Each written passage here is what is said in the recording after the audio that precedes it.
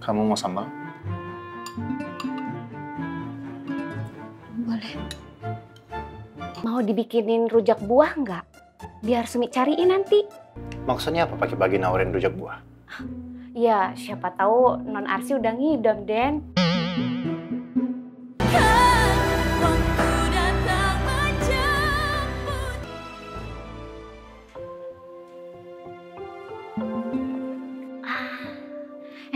Banget sirupnya.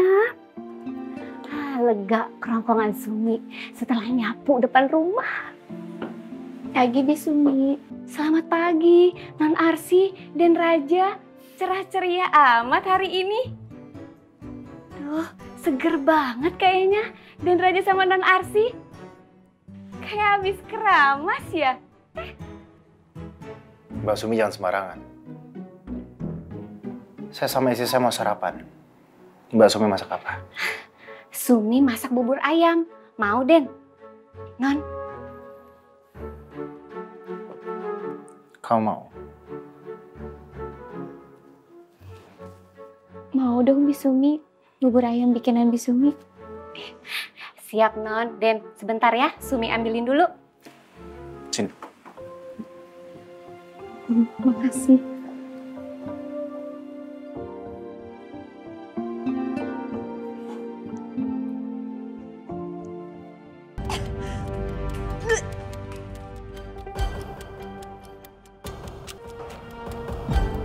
Ran, kamu kenapa Ran?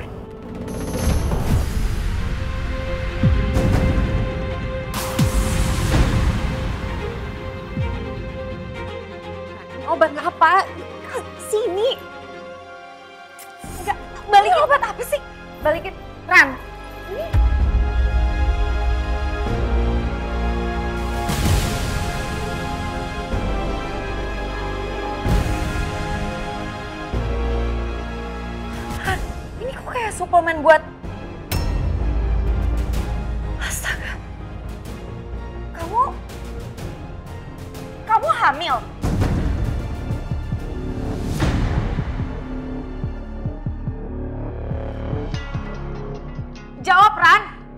Kamu hamil? Kamu hamil sama siapa, Ran? Hah?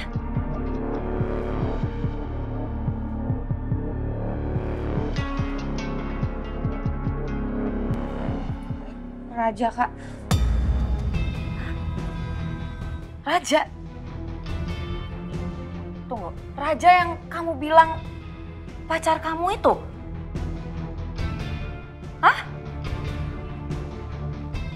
Iya. Terus, dia bapak dari anak kamu ini?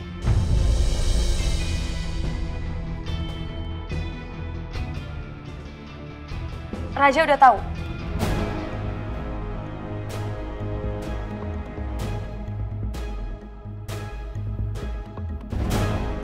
Berapa bulan kandungan kamu sekarang? Hah? Jalan dua bulan, Kak. Terus kamu udah minta dia tanggung jawab kan, Ran? Ran, dia harus tanggung jawab. Dia itu bapak dari anak kamu. Gue gak mungkin dong bilang kalau sebenarnya gue hamil anak Rama.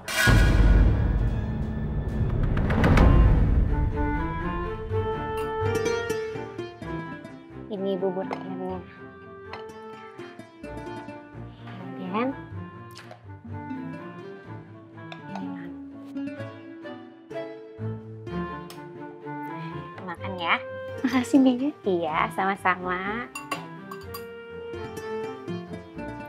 Kamu mau sambal?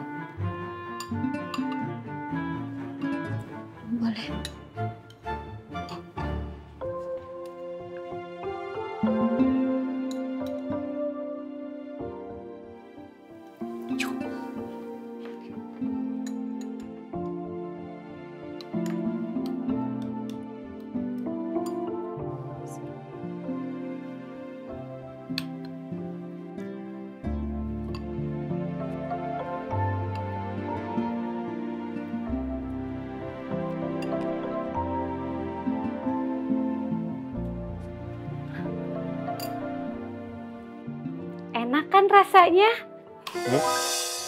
Apanya? Ya bubur ayamnya dong, Den. Gimana? Gimana? Kamu suka? Iya, aku suka enak banget.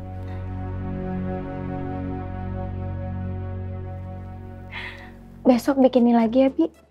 Siap, Non. Mau dibikinin rujak buah nggak? Biar Sumi cariin nanti.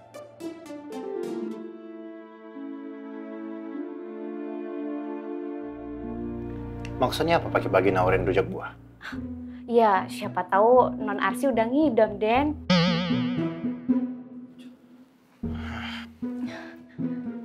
Nggak ada yang ngidam, Bi. Dipancing makan rujak buah aja, Non. Siapa tahu ngidam beneran. Mbak Sumi, tolong jangan ganggu suasana hati saya yang sedang sarapan. Mbak Sumi mending balik ke dapur, urus urusan Mbak, ya? Baik, Den. Non, permisi. Kenapa? Kamu takut? Ran, kamu tuh nggak usah takut. Kalau kamu takut, biar aku yang nemenin kamu bicara sama Raja, oke? Oh, Ran, Ran, Ran, kamu kenapa, Ran? Aduh, Kak, bisa nggak sih bahas ini semua nanti aja? Aku tuh capek tau gak sih, sakit perut aku, stres. Ya ampun, yaudah kalau gitu kita ke dokter sekarang ya? Enggak, enggak. Aku mau di rumah aja istirahat. Tapi, Ran,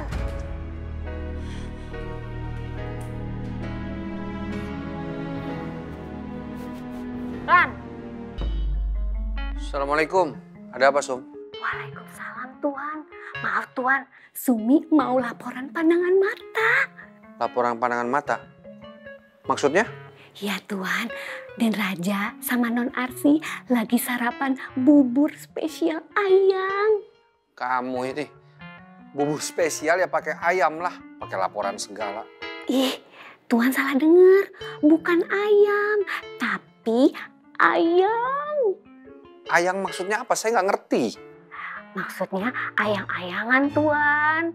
Non Arsi sama Den Raja sarapan bubur sambil suap-suapan. Oh ya? Iya Tuan, pokoknya mesra sekali. Terlihat sangat romantis Tuan. Dan sudah terlihat benar kalau pasangan suami istri yang samawa. Ini tanda-tanda Tuan bakalan cepet dapet cucu. Oke, oke, oke. Kamu terus kabarin saya ya, Sum. Ya? Awasin terus mereka, oke? Siap Tuan. Yaudah ya Tuan, Assalamualaikum. Waalaikumsalam. Om, Ya bang, duduk. bahagia banget kelihatannya Om. Wah, sangat, sangat. Gimana nggak bahagia coba? Sekarang, Raja sama Arsi itu benar-benaran jadi suami istri. Maksudnya? Maksudnya gini, barusan Sumi telepon Om. Dia bilang kalau Raja sama Arsi itu lagi sarapan bubur ayam. Pakai ayang-ayangan.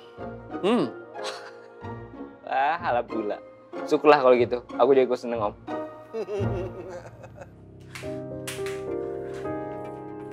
Ran, kamu nih gimana sih? Aku kan belum selesai ngomong sama kamu. Apaan lagi sih, Kak? Ran, kamu tuh adik aku. Aku mana mungkin bisa ngeliat kamu menderita dan kesakitan kayak gini sendirian. Walaupun aku kecewa sebenarnya sama kamu. Kamu nih gimana sih? Gimana kamu bisa hamil di luar nikah kayak gini? Bukan kayak gitu, Kak. Bukan kayak gitu terus gimana? Raja harus tanggung jawab. Dia tuh bapak dari anak kamu. Lagian kamu nih aneh banget sih. Bisa-bisanya kamu gak ngasih tahu dia. Rani, jawab pertanyaan aku sekali lagi. Kamu takut?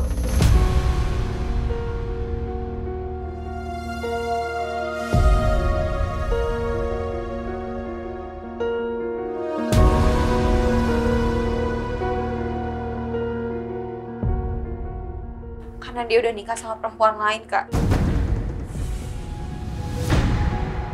Apa? Jadi selama ini kamu pacaran sama laki-laki yang udah menikah?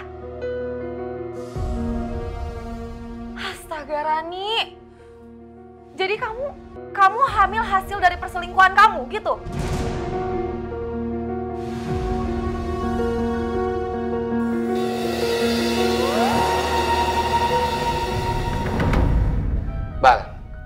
Kamu kan dokter kandungan. Om mau tanya nih, berapa lama ya orang bisa jadi hamil setelah melakukan hubungan suami istri? Ya dalam rentan 24 jam om. 24 jam.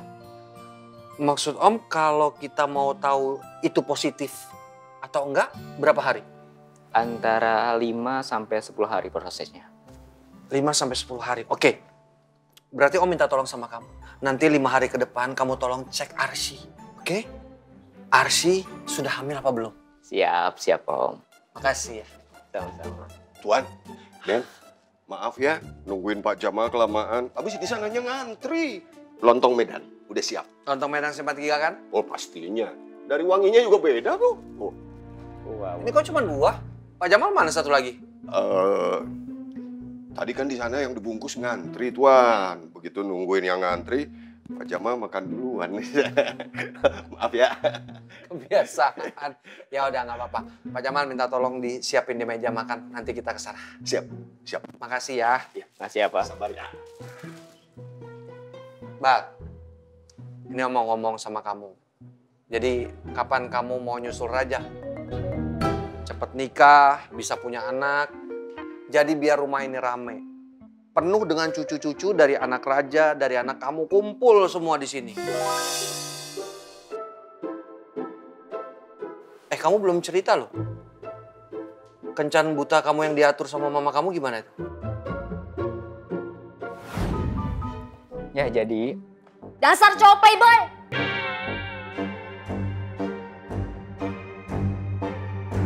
Kamu selingkuh kan sama dia? Udah jujur aja, udah ketahuan juga. Jawab nggak?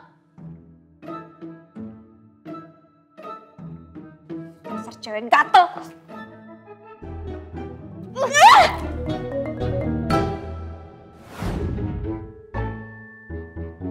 Kok malah senyum-senyum sih? Gimana prospeknya? Bagus nggak? Mama kamu belum telepon om lagi loh. ya doain aja yang terbaik om. Selalu. Pasti om doain. Yuk, sarapan yuk. Yuk. Ayo.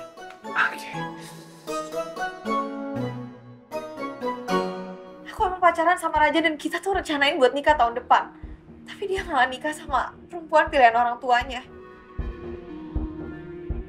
Aku nggak tega kalau aku harus jujur soal kehamilan aku. Aku nggak mau ngancurin rumah tangga mereka. Ngapain juga kamu peduli tentang rumah tangga mereka? Udah dengan jelas, gara-gara pernikahan mereka hidup kamu jadi hancur. Tapi kak, Udah deh kamu jangan tapi-tapi. Kamu nih nggak boleh lemah, kamu jadi perempuan tuh harus kuat. Kamu harus strong. Pokoknya Raja harus tanggung jawab. Kalau perlu dia ceraiin istrinya dan nikahin kamu. aku juga maunya kayak gitu. Tapi sekarang tuh aku cuma bisa nunggu. Nunggu apa lagi sih, Ran? Dia udah janji sama aku kalau dia akan nikahin aku setelah dia menceraikan istrinya. Karena pernikahan mereka itu cuma 100 hari. Terus, kamu percaya sama omongan dia? Gimana kalau setelah 100 hari itu dia malah makin deket sama istrinya? Gimana kalau mereka nggak jadi cerai? Ya, aku juga nggak tahu lah kak. Aku juga bingung. Aku takut malah nanti kalau papanya nggak ngerestuin kita berdua karena karena pertemuan aku sama papanya nggak baik-baik aja. Udah, gini aja. Siapa nama lengkap dan di mana dia bekerja?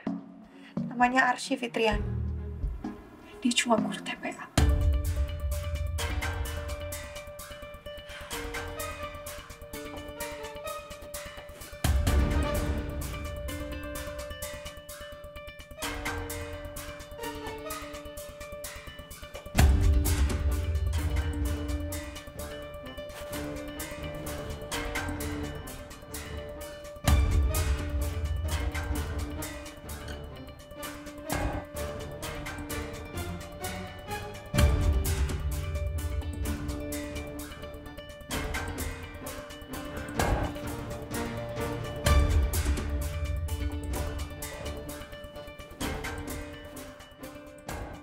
Halo, wartawan tabloid berita terkini.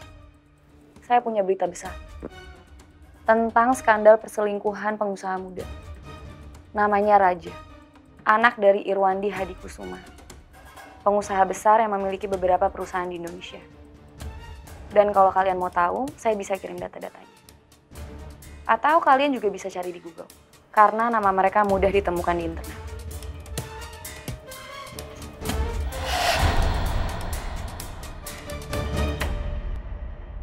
Raja, ayo Iya. siap-siap kan kamu mau ke kantor. Sebentar ya, saya lagi pasang foto dulu. Menurut kamu fotonya udah bener belum ya?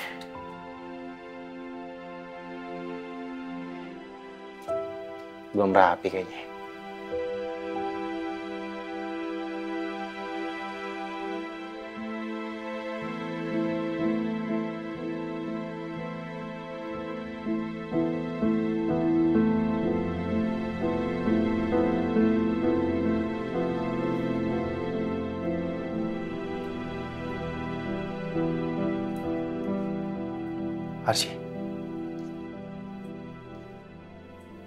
Kamu sedih?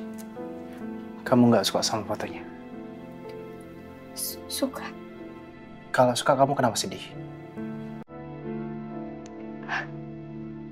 Aku... Hah? Aku bahagia, Raja.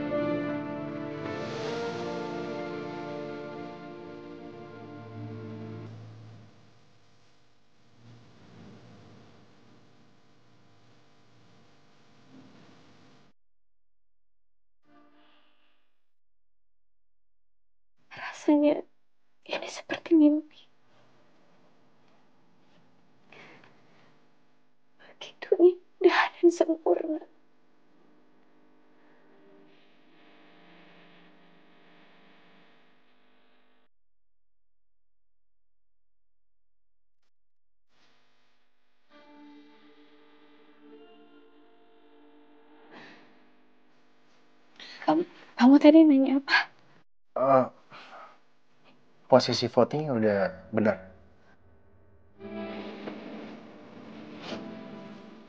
Agak agak keluar dikit ya. Ya sebelah sana. Kurang ke dalam ya kan? Iya. Sebentar.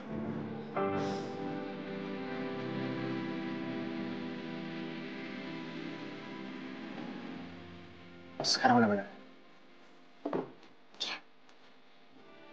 Ya?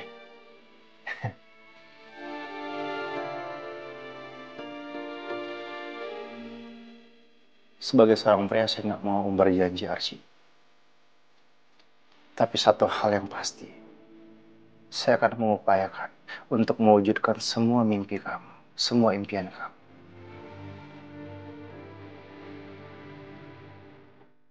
Termasuk menjadikan pernikahan ini seperti di surga.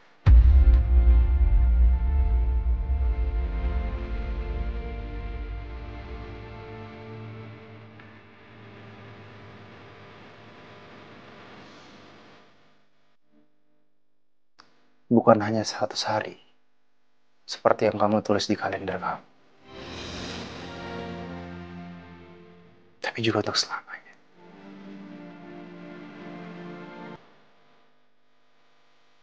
Sampai mau dia memisahkan kita.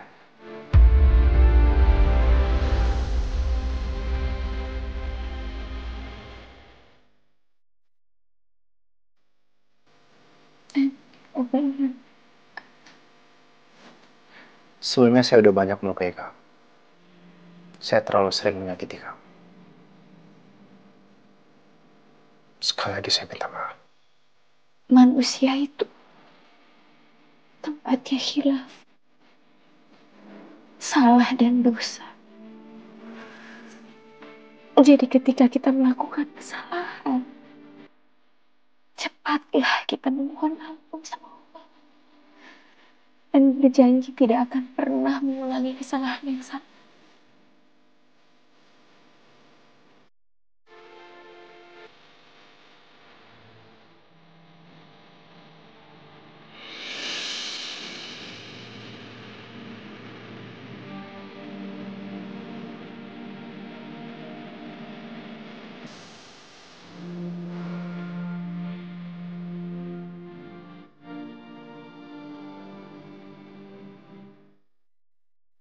saya berharap kita bisa terus bergandeng tangan asyik. Dan menatap masa depan yang lebih indah.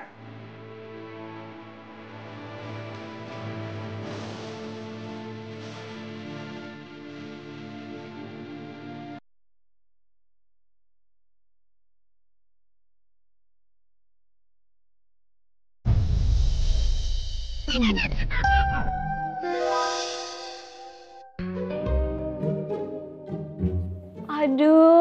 Mesranya.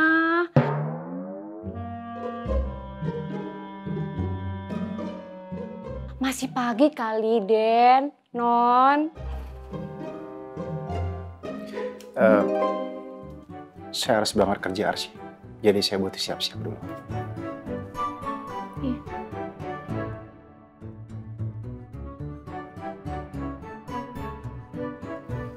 Mari Bisumi.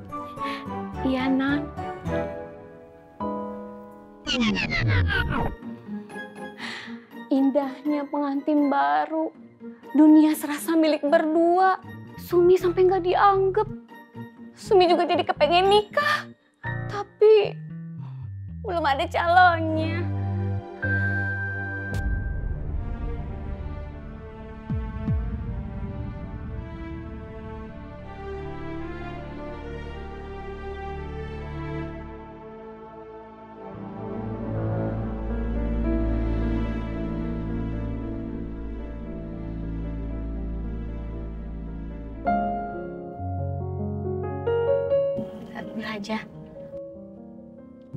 Aku turun di pertigaan aja ya.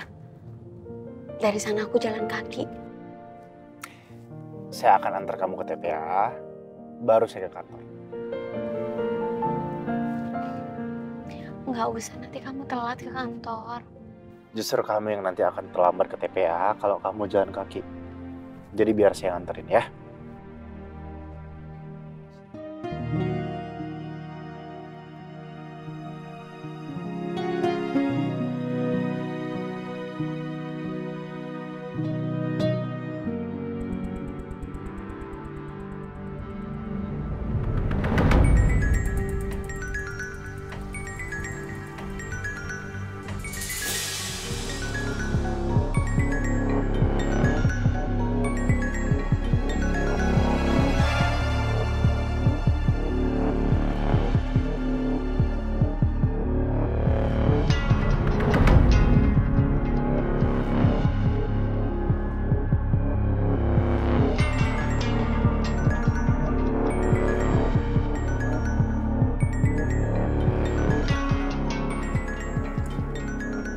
Kenapa berhenti?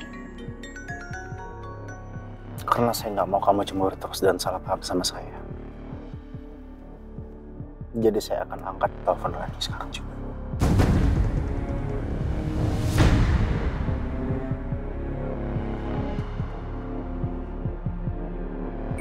Dan saya akan selesaikan masalah saya sama Rani. Di depan kamu. Saat ini.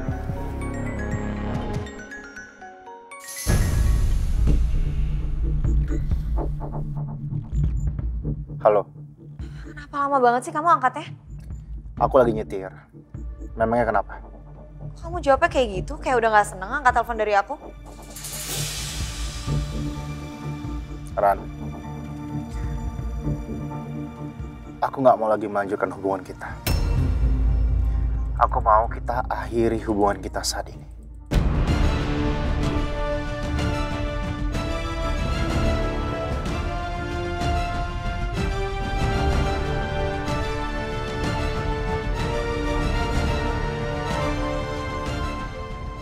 Apa maksud kamu? Ya aku mau serius menjalankan pernikahan aku sama Arsy.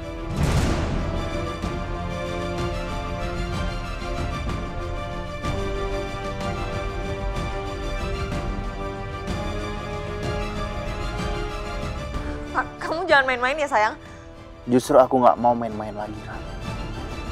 Karena yang aku rasakan saat ini, aku mencintai Arsy.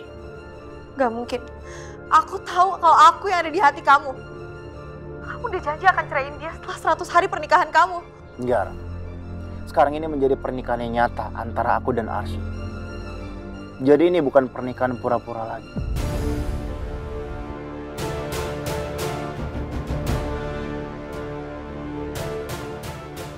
Gak bisa.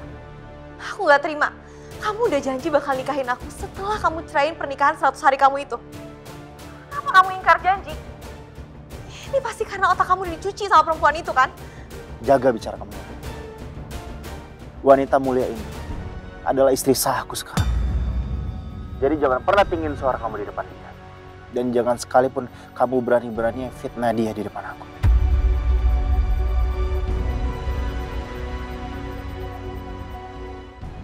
Karena saya nggak terima akan hal itu, Rani.